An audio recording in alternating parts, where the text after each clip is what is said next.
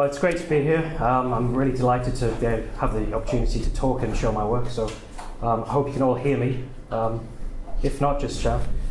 Um, yeah, so my name's Chris McHugh. Um, I'm a ceramic artist, but I have a background in archaeology, and I want to show today um, how my ceramic practice has, or I think it shares some aims of approaches to the contemporary past, archaeological approaches to the contemporary past in that it, it takes, um, it's a materializing practice and uh, it focuses on marginal aspects of um, person-object interaction.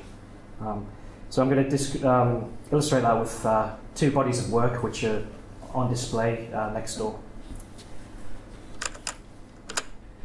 So the first thing is, um, during my PhD, I had an AHRC international placement at the National Museum of Ethnology in Osaka in Japan. And I, I looked at the George Brown collection of uh, oceanic material culture, um, which had been at uh, Newcastle University and was sold to the Japanese Museum in 1986, which was very controversial at the time. Um, so I was interested in how I could um, communicate something in ceramic of this complex and contested history of the collection. Um, the collection's been described as one of the most mobile museum collections in the world, and it's too complicated to discuss now, but you can see from this that it's, it's um, been in a lot of um, homes throughout the years and has exercised the endeavours of lots of people, um, particularly museum curators, etc. Um, so I was interested in how I could try to materialise and visualise this complex um, story in ceramics. So uh, a good example of one of the objects is, is this clock, which um, George Brown used to show the, the size of people's earlobes when, on his, uh, when he was collecting stuff. Um, and this is a clock that I photographed in, uh, in situ in the museum, so I was interested in how um, objects in museums are um, or demand attention from people and in that way exert, exert some kind of agency in doing so. Um, so th this kind of, uh, you know, you can see a quite interesting trajectory of, uh, of how the clock has uh, been sort of implicated in various photographs through time, um, including my own. Um, and this, uh, this photograph, uh, for example, is then kind of materialized in ceramic, and this is a piece I've got on display next door. Um, so it's really kind of trying to capture the sort of mi micro history of, of, captivation with objects um, and show how much how they exert agency through demanding attention from people through time. There's also um, on the right there's a, a, some, there's a letter from a child to the museum saying don't sell the, the objects in the collection. So this this was based on some work I did on on the archive, which is still in Newcastle uh, in one of the museums in Newcastle. The form was, was based um, loosely on, on these lime, lime containers which form part of the collection from the Solomon Islands. And I was interested in the ves vessel-like shape and also the surface decoration. Um, they, they seem to change a little bit after contact with uh, European colonialists. Um, and I was interested in that idea of how um, objects can uh, manifest, um, you know, cultural shifts and, and cultural dynamics. Um, so that gave me the idea to create a, a series of works which um, kind of explored the idea of uh,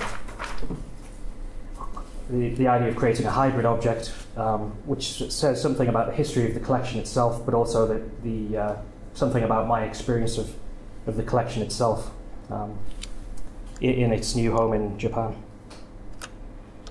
So. A lot of my work in, involves using uh, um, digital ceramic decals. So I take digital photographic information from usually taken with a mobile phone using Instagram and uh, a decal which is then fired onto the uh, surface of the porcelain. Um, so in that way it's kind of taking digital information and making it graspable literally.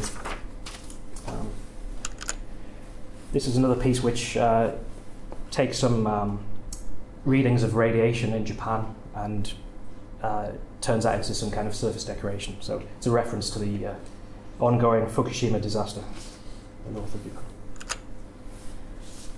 The, the other body of work um, has been made since, um, well, during and since uh, an artist in residence program I did in Seto in Aichi in uh, the central part of Japan. Um, that was something I did last year, and I became very interested in, in the uh, recent history of ceramics production at this site. And uh, in a period which isn't really seen as archaeological in Japan, it seems, it seems being too recent to be uh, worthy of study. Um, this is a, a, pottery, a ruin of a pottery building near the studio where I was working, and it seemed to stand as a, a counter monument to progress.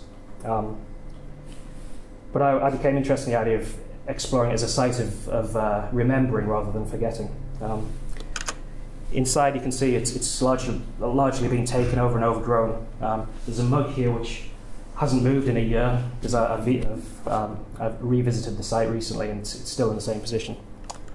Um, also around about there's some very interesting, quite idiosyncratic examples of uh, reuse of ceramic objects. Um, and I, I, felt that at the time when I saw these, they might give archaeologists an insight into, into the various ways material culture was used in the past who might not have been functional. It could have, although I think these are some kind of slug repellent or something like that. But um,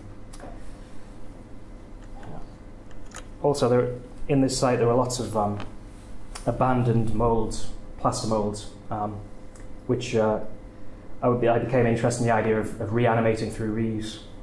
Molds um, can, can, act as a store of memory in that they instruct behavior through their materiality, and uh, they also tell um, tacit stories of, of uh, skill and labour. Um, so I was interested in how I could use my practice to raise awareness of, of that. Um, so this this piece uh, on on the uh, right is a incense burner which is on display next door, um, and this is another work which I, is still in Japan in a collection, um, which is more of a like a shrine-like wall piece. Um, so during my time in Seto, I became interested in how I could capture something of, of this site in flux um, through ceramics, and so I made a series of works again using digital information and turning it into, into um, porcelain objects. Um, so these photographs all, uh, are, well, most of them are taken um, using Instagram in Seto. So it's an attempt to record something of the uh, material, the changing materiality of, of the place. Um, these works also uh, incorporate some reused ceramic items. So you can see in the top right these uh, flowers and, and, dolls and things are pieces I've I've um, recovered from sites in Seto from the surface. Um, I was told I couldn't dig. Um, well, I'm not an archaeologist, so I wouldn't try, but, um, but it was fine to take things from the surface. So, um, yeah, so I think that suggests how, how, it, how uh, this period's seen in, in Japan in terms of archaeology. So I, these works, I, I hope, are, exhibit a kind of ambiguous um, position somewhere between absence and presence, and I'm using these broken and scarred objects inside the pots, which, which are on display next door, to kind of uh, uh, you know to capture or to communicate a kind of sense of enduring loss. Um,